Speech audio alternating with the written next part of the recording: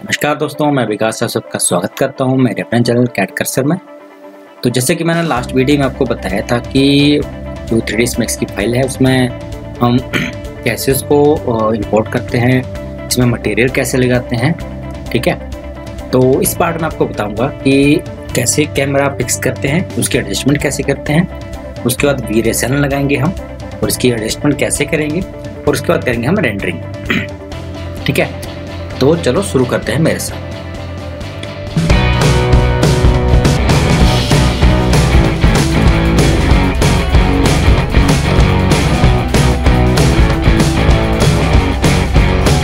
तो camera setup करने के लिए आपको आप इसको ले जाओ। कैमरा जो आप, कभी भी आप जब कैमरा लगाओगे तो वो लगाओगे टॉप व्यू में, ठीक है? उसके बाद आपने करना क्या है कि इसकी जो रेंडरिंग है वो फिर करेंगे, ठीक है? तो इसमें क्योंकि पहले हम कैमरा लेते हैं। मॉडिफाई में जाके यहाँ पे आप नीचे देखोगे, यहाँ पे रेट में जाके आप नीचे देखो यहाँ पे कैमरा कैमराज कैमरा स्टैंडर्ड और स्टैंडर्ड में वीरे वीरे फ़िज़िकल कैम यूज़ कर रहा हूँ मैं तो यहाँ पे इसको हम जिस एंगल से मैंने बनाया था, उस एंगल से मैं इसको यहाँ पे चूज़ करूँगा, ठीक है? ये आ गया यहाँ पे। उसके बाद आप देखना चाहते हो कि जो मेरे कैमरे का व्यू है, वो कैसा आ रहा है तो इसको तो आप किसी व्यू पर क्लिक करके सी एंटर करोगे। सी में करने के बाद आपको जो कैमरे का व्यू, वो दिखेगा। अभी आपको वायर फ्रेम में दिख रहा है तो उसको चेंज करने के लिए यहाँ पे वायर फ्रेम के लिए इलास्टिक यूज़ करो, ठीक है? अब ये आपका जो कैमरा है, वो आपको सेटअप करना है तो आपको करना क्या है कि जो भी आपका कैमरा है, उसको हम फ्रंट से लेफ़्ट से राइट से आपको उसको एडजस्ट करना ठीक है? एडजस्ट करने के लिए अभी आपको दिख नहीं रहा है यहाँ पे। दिखेगा। अब मैं यहाँ इसको जैसे ये है कर रहा हूँ मैं सभी। अब यहाँ लेफ़्ट देखोगे तो आपको जो कैमरा है वो ग्राउंड में बना हुआ, ठीक है? जो ग्राउंड का उसको अब सबसे पहले उसका जो फोकस है, अपने फोकस के कारण उसको हम ऊपर लेके जाएँगे, ठीक है? तो कैमरे की हाइट भी कुछ होगी उसकी कैमरे की हाइट भी देंगे, ठीक है? टॉप से भी इसको और इसको भी आप, इसको भी थोड़ा सा चेंज करके जो भी आपने इसको है उस तरीके के साथ ठीक है? की जो हाइट थी वो उसको आप तरीके से देख सकते हो, ठीक है? सारा का सारा जो है कैमरे का ही सेटअप है तो उस तरीके से कैमरे का सेटअप यहाँ पे करना है ठीक है? तो ये हाइट कुछ हाइट ज़्यादा हो गई है। कैमरे को आप ऊपर करोगे तो आपको दिखेगा। अभी आप इसकी जो वाइड एंगल जो है वो आपको चेंज कर सकते हो, जैसे इसकी ताकि पूरा दिखे। इसकी हाइट काफ़ी ज़्यादा चली हुई है। तो मैं थोड़ा नीचे लेके आता हूँ ठीक है? थोड़ा सा इसके एंगल में जो। आप ऐसे करोगे यहाँ पे। ताकि आपको कैमरा ही सिलेक्ट हो, काफ़ी दूसरा कोई चीज़ सिलेक्ट हो, उसके लिए आप यहाँ पे क्लिक करके आप यहाँ कैमरा सेलेक्ट कर लोगे तो सिर्फ़ आपका कैमरा ही यहाँ पे सेलेक्ट होगा, ठीक है? तो जैसे मैंने यहाँ वहाँ पे बनाया था तो जो कैमरा सेटअप है, वो है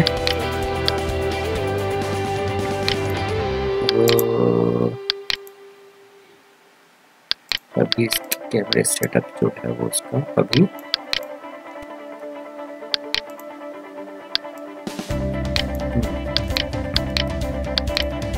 आपको इसको कैमरा इस तरीके से लगाना ताकि ये जो थ्री डी व्यू है वो अच्छा लगे, ठीक है?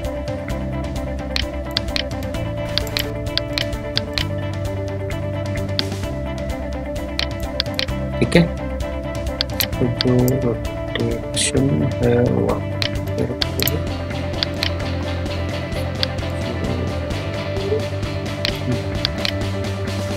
हाइट वगैरह आप चेंज कर सकते हैं।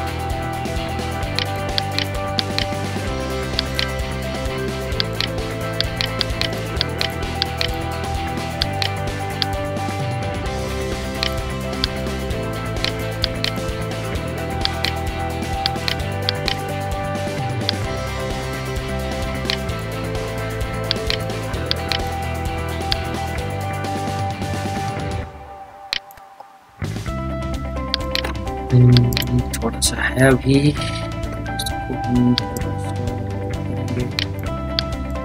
साइड में तक दिखे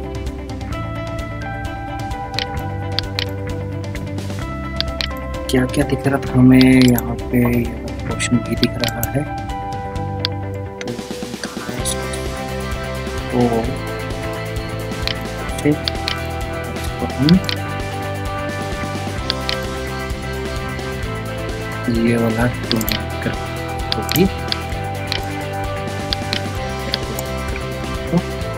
छोटा वाला ठीक है?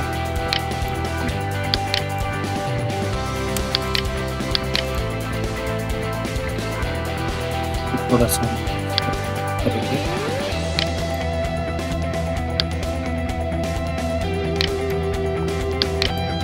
कैमरे का एंगल काफ़ी ज़्यादा इम्पोर्टेंट होता है। कि आपको जो व्यू है वो अच्छे से दे जो आप दिखाना चाहते हो, जो आप शो करना चाहते हो, वो अच्छे से दिखेगी। तो यहाँ पे थोड़ा सा भी है करने के लिए। चेंज कर रहा हूँ ताकि ये जो रेंडरिंग है वो अच्छे से आए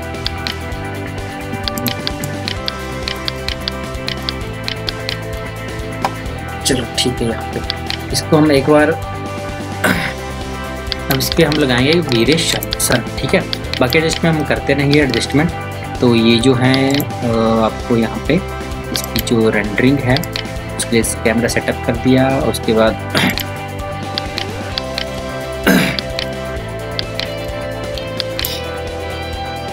अब लगाएँगे हम वीरेसन ठीक है? तो वीरेसन के लिए अब हम इसको पहले टॉप व्यू पे ले जाता हूँ। टॉप व्यू के लिए यहाँ पे टी एंटर करूँगा मैं टी एंटर करने के बाद मैं यहाँ से आप यहाँ पे स्क्रीन देख रहे ही होंगे कि यहाँ पे मैं लाइट्स पे गया लाइट्स पे जाने के बाद यहाँ पे ऑटोमेट्रिक यहाँ पे लिखा हुआ है तो उसको मैं क्लिक करूँगा क्लिक करने के बाद यहाँ पे मुझे मिलेगा वीरे ठीक है वीरे में आपको डिफरेंट फोर टाइप की लाइट्स मिलेगी यहाँ पे वीरे लाइट्स ये रेक्टेंगुलर लाइट होती है ठीक है? उसके बाद वीरे हाइएस्ट लाइट होती है, उसके बाद होती है वीरे एम्बेडेंट लाइट ठीक है? उसके बाद आता है हमारा वीरे सन तो उसके बाद करेंगे हम वीरे सन पे क्लिक ठीक है? वीरे सन पे क्लिक करने के बाद हमें कोई किसी एंगल पे हमें लाइट्स जो है वो कैसे देनी है हूँ मैं?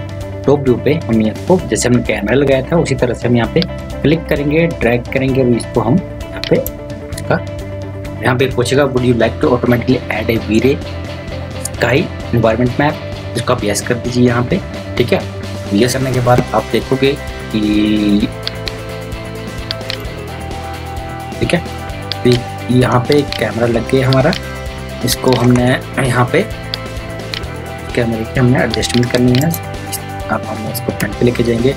तो फ्रंट में आप देखोगे कि कैमरा जैसे मैं कैमरा जैसे हमने कैमरा लगाया था तो वैसे हमें वीरेसन जो है उस, उसी तरीके से इसको फ्लैट में ही आया ग्राउंड पे लगा हुआ है। इसको हम किसी एंगल पे लेके जाएँगे। तो एंगल पे लेके जाने के बाद हम सबसे जैसे सन की जो डायरेक्शन होती है जैसे उसका हाइट होती है उस तरीके से हम लेके जाएँगे। इसकी हाइट बड़ी मैटर करेगी क्योंकि जिस हिसाब से आपने हाइट दी, दी होगी इसमें टी मैक्स में जो हम वीरेसन लगाते हैं उसकी अगर आप हाइट कम रखोगे ग्राउंड से तो जैसे आपकी नेचुरल लाइट में जैसे सुबह का जो सन होता है उसकी लाइट कैसी होती है दोपहर का सन की लाइट जो है बिल्कुल अलग होती है। और, और शाम की जो आपका जो सन है, उसकी लाइट अलग होती है। तो उसी तरीके से जैसे आप इसकी हाइट इसकी हेड जो आप एडजस्टमेंट करोगे तो वो इफ़ेक्ट इसमें भी आएगा, ठीक है? ऑटोमेटिकली तो आपको ये ध्यान रखना है।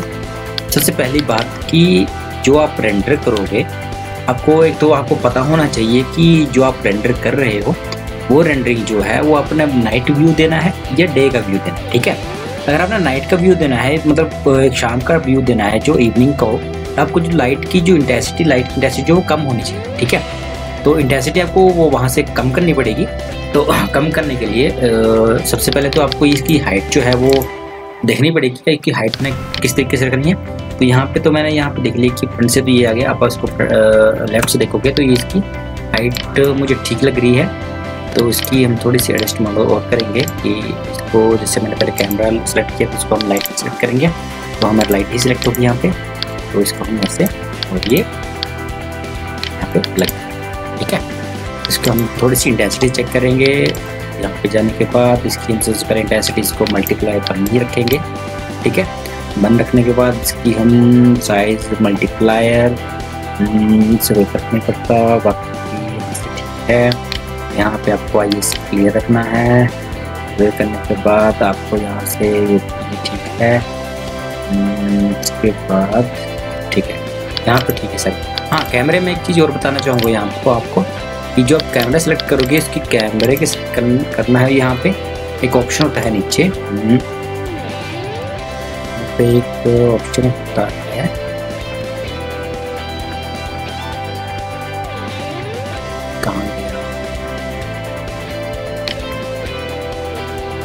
हाँ जी ये। ये जो विग्नेटिंग का जो ऑप्शन है उसको आपको बंद रखना है। क्योंकि विग्नेटिंग का ऑप्शन से होगा ये कि आपका जो सेंटर्स है वो हाईलाइट होगा और बाकी जो साइड है सर्कल में वो डार्क हो जाएँगे। तो वो देखने में अच्छा नहीं लगता है तो इसको आपको जो टिक है उसको हटा दें। इस पर हटा हुआ है ऑलरेडी तो अगर आपका टिक है तो उसको हटा दें ठीक है? उसके बाद आप देखोगे कि जो ओ, हमने लगाया हुआ है ये भी रेसन हमारा लग गया हुआ है। हम जो उसके बाद ये करेंगे इसकी करेंगे हम रेंडरिंग ठीक है? तो ये लाइट हमारी लग गई। तो हम जैसे पहले इसको मैं मैंने मिनिमाइज करूँगा एल प्लस डब्ल्यू से। तो आप देखोगे कि यहाँ पे कैमरा सेट था वेरिएशन हमने लगा दिया है। उसके बाद हमने करना क्या है कि हमने करनी है रेंडरिंग सेटिंग्स ठीक है? तो रेंडरिंग सेटिंग्स करने के लिए हमें यहाँ पे जाना है रेंडर सेटअप में। रेंडर सेटअप जाने के बाद सबसे पहले हमें देखना है कि जो हमारा व्यू है सिलेक्टेड है रीजन है कोप है हमने करना क्या है? तो जो आपको दिख रहा है, अगर आपने वही रेंडर करना है, सबसे पहली बात की जो रेंडर आपने करना है, वहाँ उस पर उस बॉक्स पर आपको क्लिक होना चाहिए, ठीक है? वो वही बॉक्स क्लिक करेगा तो उसका उसका ही रेंडर करेगा, ठीक है? तो रेंडर सेटअप में जाने के बाद आपको यहाँ पे आउटपुट साइज़ आपको चाहिए क्या? तो यहाँ पे देखोगे आप सारे आउटपुट साइज़ यहाँ पे दिए हुए हैं। यहाँ पे अपना लेना क्या है कि एच वीडियो जो एच जो पिक्चर होती है फुल एचडी में वो वाली आपने सेलेक्ट करना ठीक? उसके लिए आप यहाँ आपको मिले मिल जाएँगे यहाँ पे। एक बार ninety twenty by ten eighty में करना है आपने रेंडर इससे छोटे वाले साइज़ में करना है। तो क्योंकि ये साइज़ एचडी में एचडी वाला साइज़ है ये वाला तो इस, इसमें भी आप यूज़ कर सकते हो या इससे बड़ा आपने करना है तो उसको बड़ा भी आप यूज़ कर सकते हो। जो भी यहाँ पे लिखोगे उस हिसाब से उसका जो रेशो होगी वो भी इस तरीके से आ जाएगी ठीक है? तो फ़िलहाल तो मैं ये वाला ही यूज़ कर रहा हूँ ठीक है?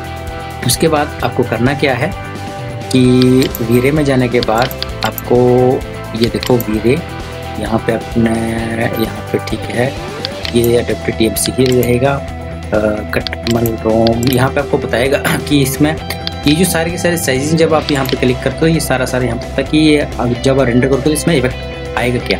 जैसे मैंने कटमल, रोम रखा हुआ यहाँ पे तो यहाँ पे बोल रहा है ये twenty five pixel filter with pronounced edge enhancement effect जबकि एजेस हैं बिल्डिंग के, उसको इनको एनहेंस करें, ठीक है?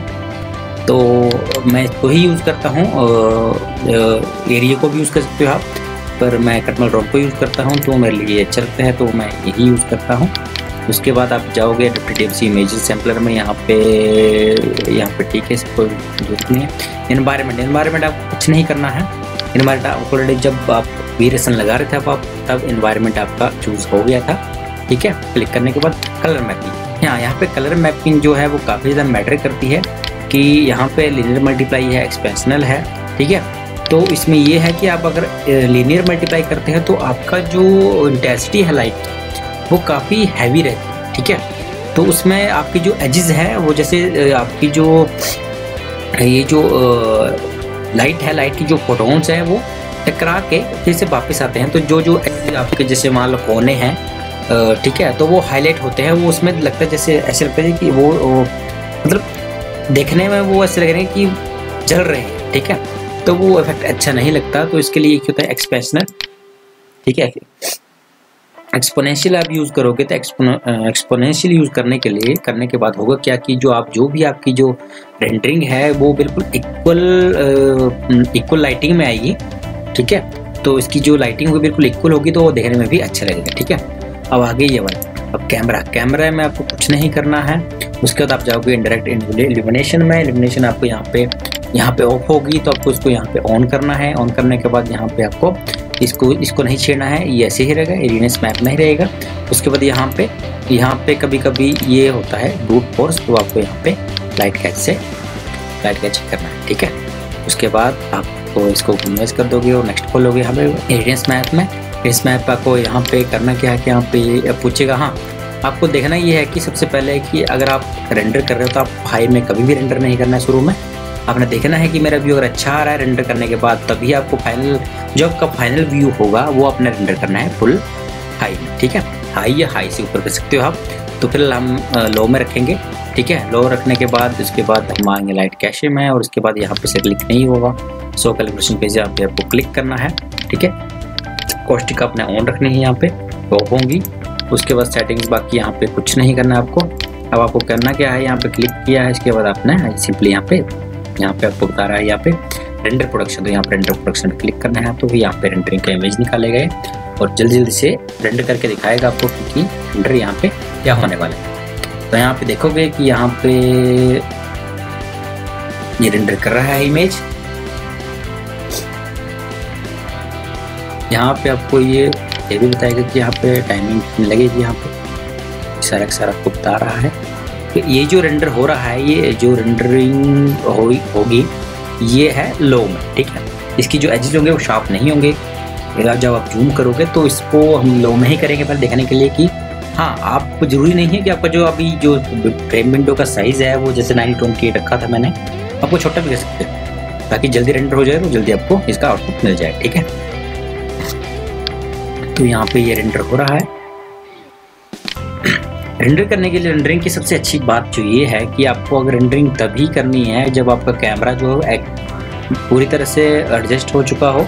अच्छे से आपका जो वैसे तो आप बाद में भी कर सकते हो लेकिन रेंडरिंग में जो भी आप व्यू दोगे उसके लिए ये दो चीज़ें बड़ी मैटर करती हैं। एक ही आपका कैमरा जो है कैमरा का जो व्यू है वो, वो बिल्कुल एक्यूरेट होना चाहिए कि सारे के सारे डिटेलिंग जो है वो अच्छे तरीके से दिखे। किस एंगल से जो है थ्री व्यू अच्छा लगेगा तो आपको उसी तरीके से उसको रखना है, ठीक है?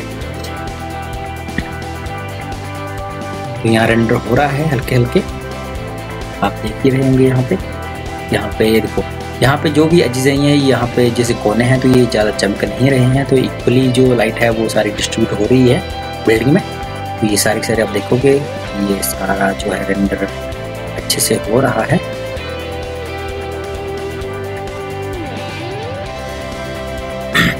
हाँ दूसरी बात मैं बता रहा था आपको कि जो दूसरा जो है वो आपका वो है लाइटिंग लाइटिंग काफ़ी ज़्यादा मैटर करती है बिल्डिंग में कि आपको जो लाइटिंग जो यहाँ पर दे रहे हो बिल्डिंग को, वो आप नाइट में नाइट वाला व्यू दोगे या डे वाला, ठीक है? तो अगर नाइट वाला कर रहे हैं तो आपको इंटेंसिटी लो रखनी पड़ेगी यहाँ पे, ठीक है? इंटेंसिटी जैसे आपको बी में बता रहा था इंटेंसिटी वहाँ पे बन रखी थी, आप कम या ज़्यादा वहाँ से कर सकते हो।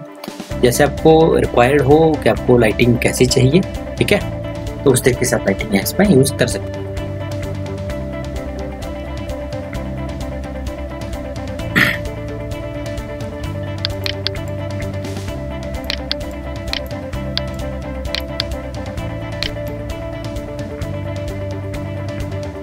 तो यहाँ पे देख रहे होंगे कि आपका जो रेंडर था, वो ये रेंडरिंग हो रही है। यहाँ पे अभी एक मिनट के लगभग तीन मिनट हुए हैं। मिनट के करीब ले लेगा ये। पर ये ये तो मेरा पाँच मिनट से ज़्यादा रेंडरिंग टाइम नहीं लेता है। बाकी डिपेंड करता है कि आपके जो जितना मेंबर्स इसमें जो भी आप एलिमेंट यूज़ करोगे थ्री डी मैक्स में, जैसे लाइटिंग होगी लाइटिंग इफ़ेक्ट हो गए थ्री मैक्स के, क्योंकि वो छोटे छोटे जो जैसे लाइटिंग है लाइटिंग के एक फोटोन जो फोटोन जो आपके प्रोड्यूस हो रहे हैं लाइटिंग से तो वो सारे के सारे फोटोन जो है वो रेंडर करना पड़ता है उसको। तो उसमें जो है वो टाइमिंग ज़्यादा लगती है, ठीक है? जैसे आपके इंटीरियर होगा इंटीरियर में सारा का सारा काम लाइटिंग का ही होगा तो वो लाइटिंग में तो रेंडर टाइम जो है काफ़ी ज़्यादा बढ़ जाता है। फोटोशॉप की मदद से आप वो रेंडरिंग टाइम क्योंकि रेंडर आप एलिमेंट कम कर सकते हो। जैसे यहाँ पे मैंने लाइटिंग नहीं लिया है इसमें, ठीक है? अब जैसे मैंने आपको, जो मैंने व्यू रेंडर व्यू व्यू जो रेंडर करके और मैंने इसमें जो थंबनेल लगाया था वीडियो पे वो थंबनेल जो था, जो भी आपको एक्स्ट्रा चीज़ें दिख रही हैं वहाँ पे, जैसे वहाँ पे पेड़ लगे हुए हैं स्काई लगा हुआ है, और नाइट व्यू में स्काई लगा हुआ है। उसके बाद अब लाइटिंग है सारी, उसके साथ जैसे आपको यहाँ पे, ये अब, ये जो यहाँ जगह है, यहाँ वाली, इसमें फ्लावर्स लगे हुए हैं। तो ये सारे के सारे जो है, वो फोटोशॉप में ही किया हुआ है, ठीक है? वो मैं बताऊँगा आपको नेक्स्ट वीडियो में कि कैसे करना है। अभी आपको करना कि रेंडर जो अभी रेंडर हो गए ये देखो यहाँ पे रेंडर हो गई ये कंप्लीट तो आपको इस तरीके से इसको तो सब चीज़ें करने के लिए तो आपको ये चीज़ का काफ़ी ध्यान रखना पड़ेगा कि जब आप सेव करोगे सेव यहाँ से करोगे आप, या आप जब रेंडर करते हो तो रेंडरिंग में भी आप पहले से ही सेव के लिए इसका नाम, इसकी डेस्टिनेशन आप वहाँ पे दे सकते हो तो आपको यहाँ पे सेव का ऑप्शन दोबारा सेव नहीं करना है, ठीक है? फिर भी आप अगर आपने नहीं किया है तो आप डायरेक्टली यहाँ से सेव कर सकते हो। तो जैसे ही विंडो फ्रेम मान लो यहाँ से चली जाती है तो आप फिर से जो लास्ट रेंडर था वो यहाँ से आ जाएगा। ठीक है? इसको यहाँ से सेव करना है। सेव करने के बाद यहाँ कोई डेस्टिनेशन पूछेगा। तो डेस्टिनेशन के लिए मैं यहाँ पे डेस्टिनेशन दे रहा हूँ यहाँ पे। ई ड्राइव में वीडियोस कर्सर और यहाँ पे था। ठीक है? तो ये सारे के सारे रेंडरिंग की वीडियोस जो बनाई थी मैंने तो इसमें फॉर्मेट यूज़ करेंगे। तो फॉर्मेट का अपना ध्यान रखना है कि जब इसमें फॉर्मेट आपने करना है पीएनजी पीएनजी में आपने इसमें इसको पीएनजी फॉर्मेट में इसको सेव करना है, क्योंकि पीएनजी फॉर्मेट में आपको बताऊँगा कि इसमें फ़ायदा क्या होगा। अभी मैं इसको सेव कर रहा हूँ पीएनजी इमेज यहाँ पे पीएनजी इमेज यहाँ फॉर्मेट लूँगा नाम दूँ यहाँ पे रेंडरिंग ठीक है? तो रेंडरिंग का नाम यहाँ पे आ गया हम करते हैं इसको सेव और ये आप, यहाँ पे R G B twenty four bit वाला ही आपने लेना है, ठीक है? इसको लेने के बाद यहाँ पे यहाँ पे ओके करोगे ओके ठीक है? अब ये इमेज जो सेव हो रही है तो इस इमेज सेव हो गई। अब बाकी जो प्रोसीजर है, वो सारा होगा फोटोशॉप पे। तो अगर आपको ये वीडियो अच्छी लगी हो तो वीडियो को लाइक करें कमेंट करें और शेयर करें। और अगर आपको इसमें कोई डाउट है और या कोई पॉइंट आपको समझ नहीं आया तो प्लीज़ मुझे कमेंट करके बताएँ। आपको मैं और क्लेरिफाई कर दूँगा। रेंडरिंग के रिगार्डिंग जो भी रेंडरिंग है, और इसकी सेटिंग जो है, इसको मैं डिटेल में एक अलग से वीडियो बनाऊँगा। पर पहले ये वाली मैं वीडियो कंप्लीट कर लूँ, उसके बाद, ठीक है? तो थैंक यू फॉर वॉचिंग